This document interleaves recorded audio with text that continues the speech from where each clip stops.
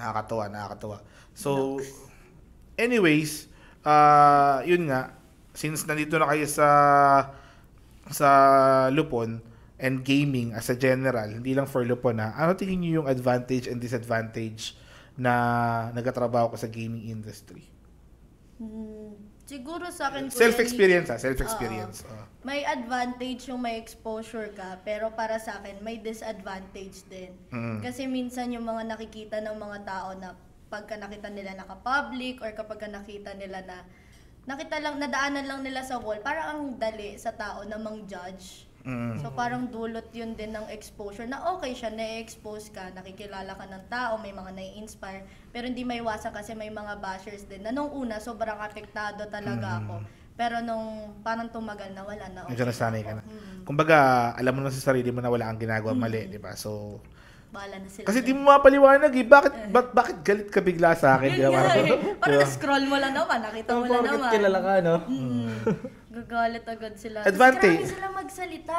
Oo. keyboard warrior. Oo, so minumura ka, pati pamilya mo dinadamay. Para ka talagang nasa sipag naglalaro sa Dota. Ba yung mga talk? Masasanay ka na lang eh, no? Ganun din yung mga nararanasan ko din dati. Ano naman ang advantage na dito ka sa industriya na gaming and esports? Advantage siguro ko yan ah, mahal ko talaga yung ginagawa ko. Gusto ko Okay. na nagkakast ako, na naglalaro ako ng Dota.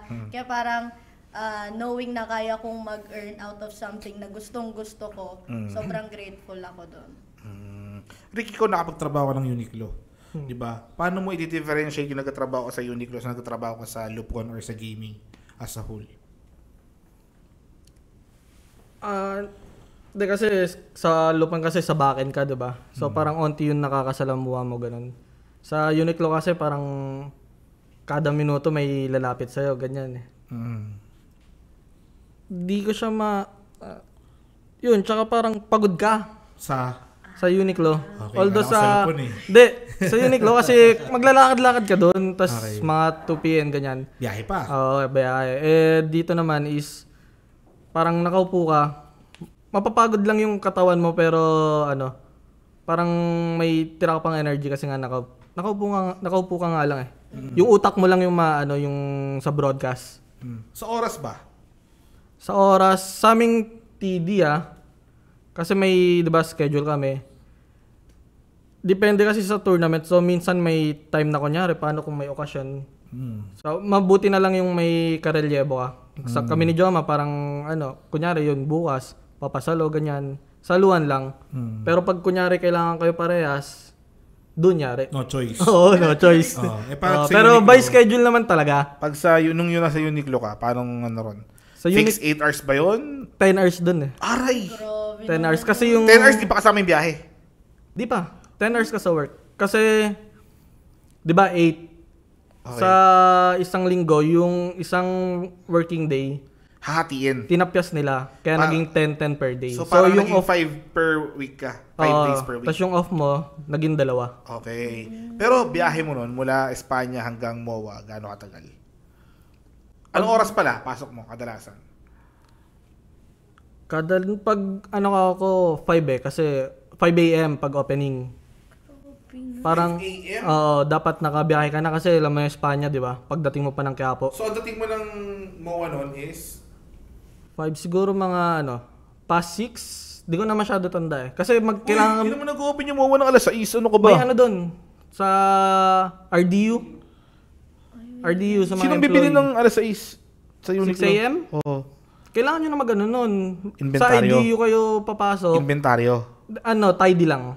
Kailangan Hmm. yung mga dust. Kasi kahit sarado yung mall ng gabi, syempre may mga dust pa rin yun eh. Ah. Kailangan mo linisin yun, yung rolling paper, ganun. So, 6 a.m. hanggang anong oras ka nun? Mga 2 ata. 2 to 3. Mga ganun, oh. Ah. Tapos yung may break kang... Bukod sa parang break na 1 hour, may 30 minutes din ata. Hirap nun ha. Umaga yung biyahe mo Hmm. nun kasi pasok ka ng estudyante yun eh. Masarap nun nung nag-night shift na eh. Nalipat ako nung gabi. Sa gabi masaya ka talaga eh. Masaya ako kasi Oo. yung... Hindi, tsaka kasi... Hindi, tsaka kasi di ba may sarado na ng 8 yung mall. Ah. Yung rest ng oras mo, magtatrabaho ka na nang wala ng customer. Wala nang gugulo sa'yo. Mm, Doon ka naman yung ayusin nyo na ng tupi. Doon. Tapos yung biyahe ma- mabilis kasi di na traffic. Dapat pala binalik ko ng The Armory. Ito ko nung ipepe. eh kung may shop lang tayo, Kaya ba't- shoutout ka wala. Shoutout ka wala The Armory ha. Nandito sa harap ha. Pinalagay ha. Hindi ko alam yan mga kaibigan. Nilagay na lang po bigla dyan ha. Nandyan na yan. Supportahan nyo na. Yan. Okay? Sa Shopee. Oh, nandyan na yan. Supportahan nyo na ha. So, ah... yung ano ba, yung kasi ang setup natin nga, ang isa sa mga major setup natin na kinaiba natin sa iba is yung biyahe. Eh, yung in-eliminate natin. From the Ah. get-go, talagang naka, either naka-bootcamp tayo sa lugar talaga or meron tayong nearby na pinag i yan. 'Di ba? So, si Dayan, di, di mo siguro na-experience to kasi dati hindi ka nagtatrabaho naman ng biyahe-biyahe, 'di ba? Pero para sa iyo, Eric, ano yung ano yung natulong sa iyo na di mo na kailangan mag biyahe, pagka kailangan na pamilya mo, nandiyan ka na. Then, nung sa Amarilis tayo, Hmm. parang anytime kasi bababa ka, doon na yung mga kasama mo, ganyan. Hmm. Tapos di ka malilate. Hmm. Lalo na yung lugar nun eh. Traffic pa yun. Tapos, yun naman yung ano, advantage nung naka-bootcamp tayo. Naka-stay in sa Amarilis. Hmm. Ikaw, eh nga, di ba meron kang 10 hours per day. Hmm. Ano yung difference na hawak mo yung oras mo kung gusto magtrabaho sa dapat fixed na 10 hours na nagtatrabaho ka? Ano yung pinagkaiba niya? Ah, kaila, yung sa tenors kasi kailangan mo talaga may, parang may gagawin ka talaga dun eh.